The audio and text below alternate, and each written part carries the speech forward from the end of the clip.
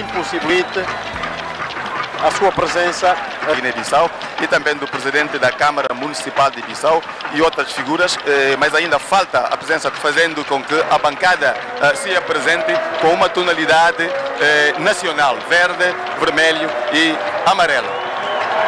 Exato, aí já das três equipas, a equipa da Guiné-Bissau, desportivos. Carlos Moraes, algo a crescer ainda? É uma claque muito tímida, porque Os hinos das duas equipas, primeiro, eh, creio que vai acontecer, acontece na Serra Leão. queremos ser a ministra da Juventude. Do exterior, sobretudo da Europa. Obrigado, então, eh, Recebi uma manta de retalhos. São reforços. eh, mais eh, claro para nós podermos aqui eh, qualificar a forma como aparece para este jogo, eh, mas aparece ferida, não é? Uma vez por eh, ter perdido o jogo frente ao Senegal e isto não é bom.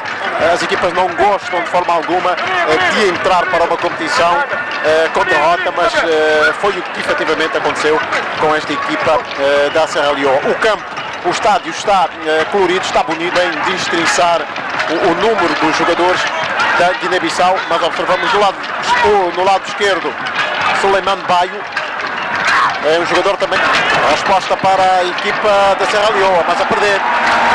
Ali a sair Suleiman Baio, é o capitão. E depois, ali a tropeçar, vamos ver o árbitro. Mais a união. A Aqui união está, aqui está a explanação então. Ferry consegue. Ataca o jogador da equipa do Porto Santense. Pontapé de canto já batido, olha o cabeceamento. E depois Inês e a bola. Caso de uma vitória bastará à seleção nacional um empate. Ao pormenor aqui da equipa guineense. Suleim que o público continua a vibrar. Olha Guiné-Bissau e ali a falta. Falta passível de cartão amarelo e fica estatelado por Leiman Baio. O árbitro agora, pelo menos esta falta, acabou por aqui no lado esquerdo. Saída para o capitão Malan Jabulá. Ainda Jabulá. Verdade, está em desvantagem e vai procurar a maior revitalização do seu jogo. E agora ali a cair Suleiman Baio. Dificuldades para Serra Leoa poder eh, Não, Serreu, não, a entrevista. E estamos a recordar, entretanto, Estamos sem sombra de dúvidas. Aquele marcado, fabuloso segundo golo. marcado então. Não, não, a entrevista. Estamos a recordar, entretanto, Estamos sem sombra de dúvidas. Aquele marcado. fabuloso. Suleiman Diallo, mas e não o Abubakar Diallo. Aí está, vamos então esperar e observar o perfil eh, deste árbitro. Ele que vai ser então auxiliado por. eh, Vamos ver como é que vai ser cobrada esta falta.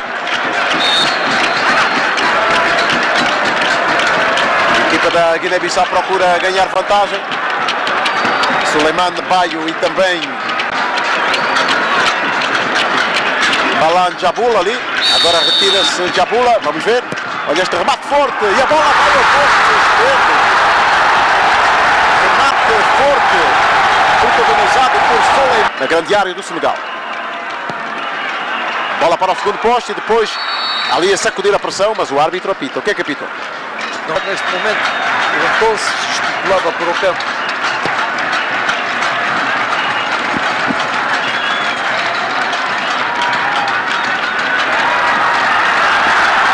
Vai saindo a Guiné-Bissau. Após ali o corte de 2 metros. Aliás, eh, a nível universal, agora os guarda-redes acabam por ser pulsantes. Estamos aqui a. A Bissau não está a defraudar em nada. A expectativa Guiné pode ser o golo e depois a fazer muito bem a mancha. Uma grande perdida esta do ataque da Guiné-Bissau. Sem dúvida. Não está a acontecer nesta partida. Algo passa a atrasar. Primeiro, a defesa da Guiné-Bissau. Saída para a Guiné-Bissau. Vai saindo. Vai subindo o Marinho. Atenção, olha o cruzamento pode sair. E depois, primeiro, o guarda-redes tenta dar resposta àquela fase de apatia, aquela fase inibida de jogo que conheceu numa altura em que sai Suleiman Baio. Ainda Baio. Protagonizou um grande remate. A bola acabou por ir ao posto. Sim, sendo um jogador muito rápido, mas isto aconteceu aos 30 minutos. Atenção, a situação. E agora onde o árbitro. Vamos ver. Penalti favorável à Guiné. Tem aqui a possibilidade. Aqui está o lance.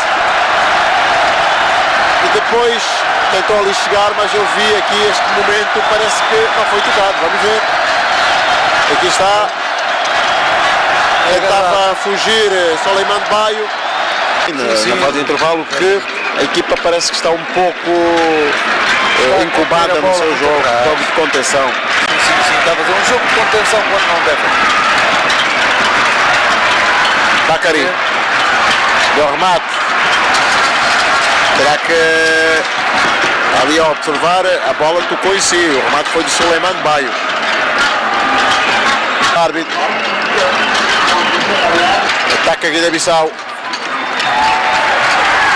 A ser disputados eh, no estádio 24 de setembro. Vai saindo o então para o pontapé de saída. Teremos hoje aqui sistema tático é que vai então evoluir esta formação de Cabo Verde do ponto de vista.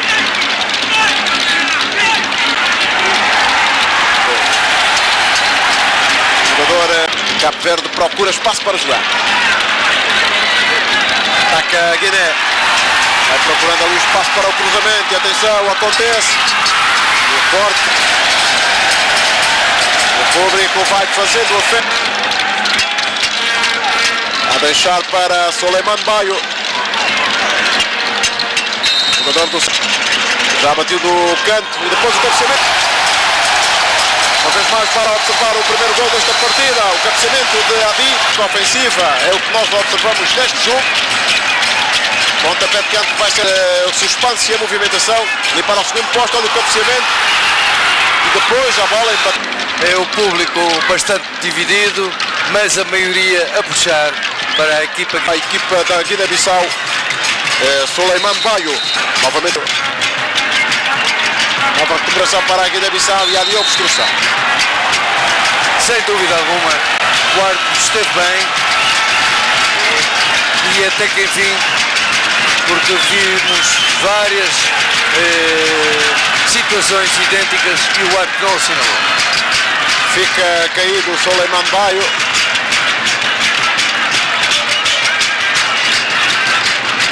E parece já recuperado. Está recuperado o jogador da equipa da Guiné de novembro e termina dia 10. Nesta altura estamos a observar o jogo entre as equipas da Guiné-Bissau. As pessoas